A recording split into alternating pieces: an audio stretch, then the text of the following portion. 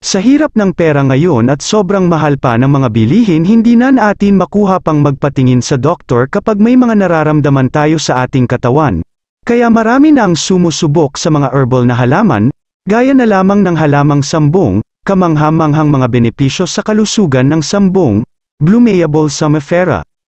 Ito ay isang magandang araw upang malaman ang tungkol sa maraming benepisyo sa kalusugan ng sambong. Ano ang sambong? Ang sambong ay isang halaman na ginamit sa loob ng maraming siglo sa katutubong gamot sa Pilipinas. Maaari mo ring tawaging mga benepisyo sa kalusugan ng Blumea balsamifera, ngay camphor, o ibang spelling ng sembong. Ito ay kilala na may anti-inflammatory, diuretic, at analgesic properties. Ang sambong ay karaniwang ginagamit upang gamutin ang mga bato sa bato, impeksyon sa ihi, at hypertension. Ang mga dahon ng halaman ay pinakuluan sa tubig at kinukuha ng pasalita. Karaniwan pinapakuluan ang mga dahon nito at ginagawang tsaa ng sambong upang tamasahin ang mga benepisyo nito. Narito ang mga benepisyo sa kalusugan ng sambong. Isa, diuretic at detoxify ang katawan ang pag-inom ng tsaa na gawa sa dahon ng sambong ay makatutulong sa iyo na maalis ang labis na likido sa pamamagitan ng ihi. Sa isang paraan, makakatulong ito sa iyo na maiwasan ang pagpapanatili ng likido sa katawan. Iniisip ng mga tao na mayroon nitong mga katangian na tumutulong sa iyong katawan na maalis ang mga lason sa pamamagitan ng dumi, pawis, o ihi. Dalawa, tumutulong sa pag-iwas sa sakit sa atay ang dahon ng sambong ay nakakatulong sa detoxifying. Sa huli, pinipigilan nito ang iyong atay na magtrabaho ng labis at pinapanatili itong ligtas mula sa mga lason na maaaring makapinsala dito. Ang mga gamot tulad ng paracetamol ay maaaring mapanganib sa iyong atay, at ang pag-inom ng sambong tea ay maaaring makatulong na mabawasan ang panganib na magkaroon ng matinding pinsala sa atay. Tatlo. Pinapababa ang presyon ng dugo. Dahil sa mga katangian ng diuretic ng sambong na tumutulong sa iyong pag-alis ng labis na sodium mula sa daluyan ng dugo, hindi ito direktang nakakatulong sa iyo na mapababa ang iyong presyon ng dugo. Tulad ng alam mo na, ang sobrang sodium sa iyong katawan ay nagpapataas ng presyon ng dugo at nagiging sanhi ng hypertension. Apat, ginagamot ang lagnat, tila nakakatulong ang pag-inom ng sambong tea upang mabawasan ang iyong lagnat. Maaari mo ring pakuluan ang mga dahon at gamitin ng tubig sa iyong paliguan. Sinubukan kong gumamit ng dahon ng bayabas noong bata pa ako, ngunit hindi ko alam na kaya rin pala ng dahon ng sambong ang ganitong pakulo. 5. Nakakaantala sa renal failure sa Pilipinas, hinihikayat ng kagawaran ng kalusugan ang mga tao na uminom ng sambong tea upang makatulong sa pagbuwag ng mga bato sa bato. Ito ay malamang dahil sa mga phytochemical o terpenes na nasa sambong. Inirerekomenda din ito para sa mga pasyente, bagamat higit pang mga pag-aaral ang dapat gawin dahil sa kalubhaan ng isyong pangkalusugan na ito, ito ay nagpapaisip sa iyo kung dapat bang mayroong isang bagay dito. Kung nakakita sila ng magagandang resulta sa nakaraan, tiyak na may dahilan ang pagrekomenda ng pag-inom ng tsaa ng sambong sa mga pasyente ng bato. Anim, nagpapagaling ng sakit sa lalamunan at ginagamot ang ubo. Ang sambong ay karaniwang isang organic expectorant. Sinasabing ang sambong tea ay nakakatulong sa pag-alis ng uhog at plema dahil ito ay nagpapagaling sa iyong lalamunan at nakakatulong sa paggamot ng iyong ubo. Pito, pinapaginhawa ang sakit sa bibig napansin na ang sambong tea ay nagsisilbing analgesic para sa mga pasyente ng ngipin pagkatapos ng operasyon sa ngipin. Pakuluan ang tubig na may dahon ng sambong at gawin itong tsaa. Kapag mas mainit, maaari kang magmumog ng tsaa ng sambong. Ang sakit ay dapat na mas mababa ngayon, kung hindi ganap na maalis.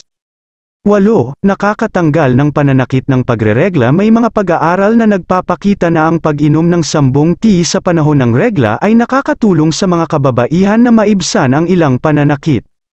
Makakatulong din ito sa pamumulaklak at pasiglahin ang daloy ng dugo sa pelvic region. Siyam. Pinapaginhawa ang mga sakit sa tiyan. May mga sinasabi na ang tsaa ng sambong ay makakatulong sa iyo na mapawi ang ilang mga sakit sa tiyan tulad ng pagtatae, pulikat, at pananakit ng tiyan. Ang A-terpineal, bornyl camphor, at caryophyllene oxide sa dahon ng sambong ay makakatulong sa iyong pakiramdam na bumuti pagkatapos kumain at huminto sa pagtatae. Sampu, pinipigilan ang mga sakit na dulot ng bakterya at fungi.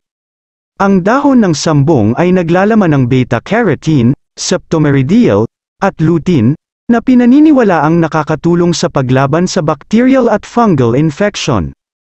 Makakatulong ang mga ito na pigilan ang mga mapaminsalang mikrobyo tulad ng Bacillus subtilis, Staphylococcus, at iba pa na makapasok sa iyong katawan. Labing isa nagtataguyod ng paggaling sa mga sugat sa balat. Ang dahon ng sambong ay naglalaman ng mga antimicrobial agent, kaya ang paglalagay nito bilang tsaa o pulbos sa mga sugat sa balat ay magpapasigla ng mas mabilis na epekto sa pagpapagaling. Labindalawa. Magandang pinagmumula ng antioxidants. Ang sambong ay mayaman din sa flavonoids, at napansin ng mga mananaliksik ang hindi bababa sa siyam na magkakaibang flavonoids. Ito ang mga pigment sa mga halaman na kumikilos bilang mga antioxidant. Matutulungan ka ng mga antioxidant na labanan ang pinsala sa cell na dulot ng mga libreng radikal. Labintatlo. Maaaring magkaroon ng anti-cancer properties. Ang sambong ay naglalaman ng napakaraming flavonoids, na nangangahulugan din na ang paglaban nito sa mga free radical ay maaaring magresulta sa mas mababang panganib ng kanser. Natagpuan din ang sambong na naglalaman ng methanolic extract, na maaaring may therapeutic activity laban sa hepatocellular carcinoma cells. Nangangahulugan lamang ito na ang sambong extract ay maaaring makatulong sa mga pasyente ng hepatoma cancer.